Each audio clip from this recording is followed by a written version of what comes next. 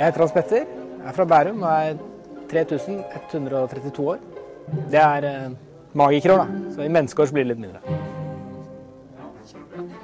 Hva er forskjellen på magikerår og menneskeår? Altså hundeår, ja. Ja, ja. Når jeg driver med magi, så handler det ikke så mye om å lure folk. De færreste liker å bli lurt. Det handler om heller at folk skal føle at de eh, opplevde noe som var magisk. Et lite øyeblikk og du glemmer hverdagens bekymring. bekymringer. Og heller føle at eh, dette var en, eh, dette var en magisk opplevelse. To av dommerne har sett meg før. Jeg var med for to-tre år siden. Jeg skjønner jo ingen verdens ting. Du er fire ganger ja videre i Norske Talenter. Det tror jeg ikke er noen fordel. Eh, altså, de likte vel det jeg gjorde forrige gang, men jeg tror de vil ha mye større krav. For det er liksom ikke noe vits å komme tilbake og gjøre det samme eller være like bra. Det må jo være bedre for at det skal være nytt. For at de vil ha meg videre en gang til. Hei, Hans. Hei. Så hyggelig å se deg. Kan hende at jeg trenger litt hjelp på scenen. Eh, Bruker du lesebriller? Ja, ja, Har du ja. lesebriller? ja. Ja. Det er greit å vite. Ok. Dette blir sånn enten-eller. Enten så får jeg det til, og da tror jeg det blir bra.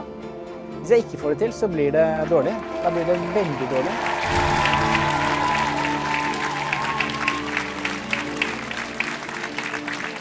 Hei sann. Hei, hei. Jeg må nesten si takk for sist. like måte. Like Stemmer det? Ja. For du har vært med her før. Jeg var med for noen år siden, ja. Så da har du meldt deg på igjen. Ja.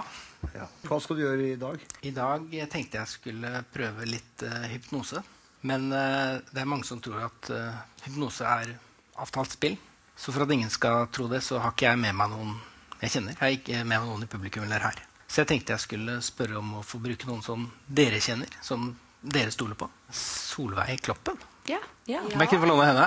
Det skal jeg Hun kjenner dere? Solveig? Jeg hadde så lyst. Ja, nå mente du. Hadde jeg så lyst.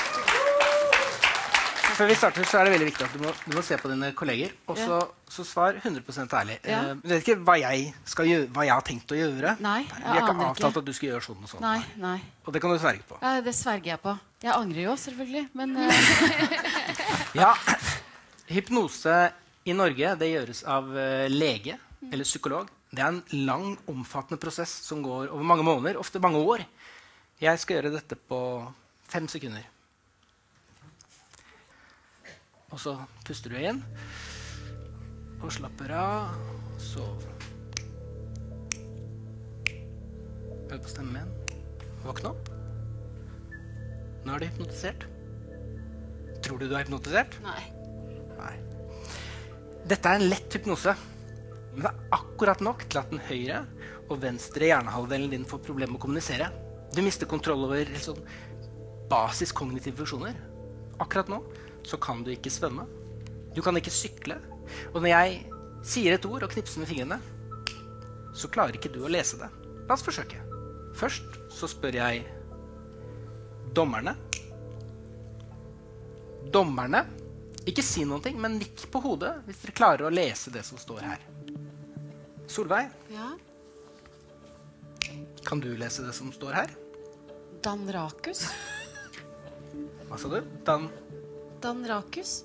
Vi, vi prøver eh, noen ord til. Det er jo tross alt norske talenter, dette her. Dommerne og publikum, nikk på hodet, alle som kan lese det som står her. Det er tross alt norske talenter. Solveig? Høyt og tydelig, hva står det her? Neme he te. Tekammelser? Tekammelser? Ja. Sånn at eh, dere ikke tror at jeg bytter ut disse arkene. Kan vi få kameraet inn bak her? Det er vanskelig å lese ord som man ikke vet hva betyr. Det er noe helt annet hvis du skulle lese f.eks. ditt eget navn. Jeg spør først publikum og dommere. Nikk på hodet, alle som kan lese dette her. Ja. Ja, de nikker, de nikker. Og Solveig Kloppen. Høyt og tydelig. Hva står det her? Sykes Sykes og Kis, Kisgossen. Kisgossen, ja. ja. Men du følte ikke at du er hypnotisert på noen måte? Nei. Ja, jeg er ikke så god på dette her. Er det som skjer? Det er veldig sporty. Du kommer her og veit ikke hva jeg skal gjøre, og så lar deg hypnotisere selv om det tydeligvis ikke fungerer. Så nå skal jeg få publikum og dommerne til å gjøre noe for deg. Men du må vise dem det først. Så hvis du kan gjøre det som står på det neste kortet, men gjør det med innlevelse, med masse lyd og mimikk, og så skal alle de gjøre det for deg etterpå, ok? OK. Og så får du en kjempeapplaus når du er ferdig. ok. Kan du lage det?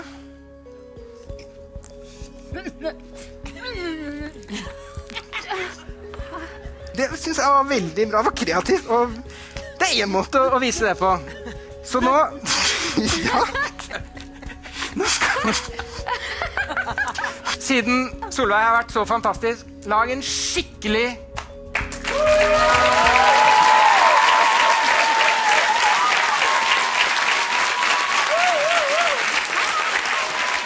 Lukk øynene. Våkna. Nå er det ikke lenger hypnotisert. Tusen takk for hjelpen. Men vent overbevist. Tusen takk skal du ha.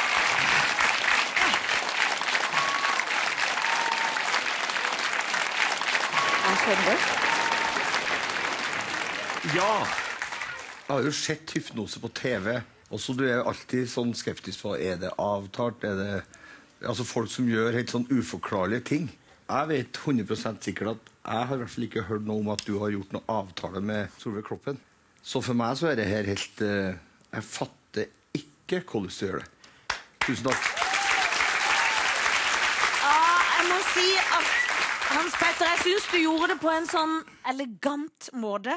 Og jeg fatter hvordan du får det til så kvikt. Jeg ble nervøs, for jeg tenkte hun kommer ikke til å bli hypnotisert. Men jommen sa jeg smør. Nei, dette var bra, Hans Petter. Du leverte så fint sist, og så kommer du tilbake med hypnose, som er så sinnssykt spennende. Jeg har lyst til å se mer. Ja, føler det. Jeg er sånn som sitter litt, Hans Petter, er litt sånn Er det magiting, eller er det hypnose? Hva er det han faktisk gjør? For jeg tenker Solveig sitter jo der rett fram og tror ikke hun er hypnotisert i det hele tatt. Så jeg tenker, hva er det han har fått til som blir så gjennomført tvers gjennom så bra, da? Og så syns jeg du klarer å inkludere oss som publikum på en så fin måte at hele opptredenen din blir underholdende. Veldig, veldig bra. Du kom til semifinale, syns jeg husk sist. Det skulle ikke forundre meg om du nå havner i en finale, for det var bra. Vi skal stemme.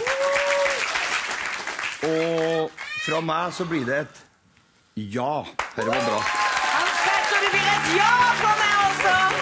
Ja, det blir et ja herfra denne gangen òg.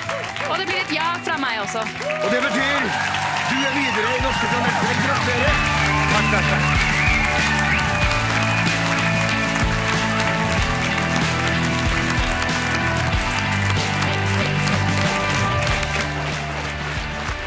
Du var fantastisk, Tone.